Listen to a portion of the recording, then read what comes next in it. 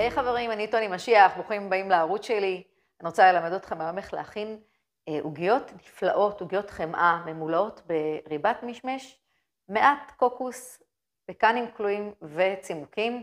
המתכון הבא הוא מתכון מנצח בעיניי, ואני יכולה לומר את זה לאחר שאפיתי אותם 15 פעמים החודש, ובכל הפעמים הם נגמרו ותמיד היה דרישה לעוד, אה, גם החוצה מהבית. זאת אומרת, מי שטעם ביקש עוד ועוד.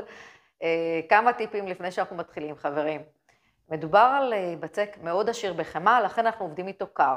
גם הקוביות אה, של החמאה שאנחנו מכניסים לבצק קרות מאוד, הרידוד בין שתי ניירות אפייה, ולאחר המילוי של הרולדה במקרה הזה, אנחנו מכניסים אותה להקפאה, וחותכים כאשר היא קפואה לחלוטין. עכשיו, אני רוצה לומר משהו. אני מכינה גודל מסוים של רולדה, חותכת אה, למשולשים, אבל בהחלט ניתן לחלק את הבצק לשתיים, להכין שתי רולדות קטנות יותר, לחתוך לפרוסות, כל אחד איך שהוא אוהב, זה בסדר. אני לא מעבירה כאן, אתם יודעים, משהו strict שזה, כאילו, זה איך שאתם אוהבים. מה שחשוב זה איך שאתם אוהבים, ואיך שזה מתאים לכם ולמשפחה שלכם, זה מאוד מאוד חשוב לי, אה, כי לפעמים אומרים לי, מה הגודל, מה זה?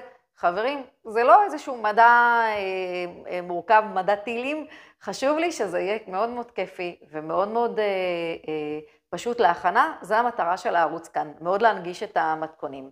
אז אני מקווה שאני מצליחה לעשות את זה, אה, וזהו, מאוד אשמח לשמוע מה אתם חושבים, תכתבו לי בתגובות, ואם עוד לא נרשמתם לערוץ, זה הזמן להירשם, אה, תלחצו על ההרשמה ועל הפעמון. בואו נתחיל.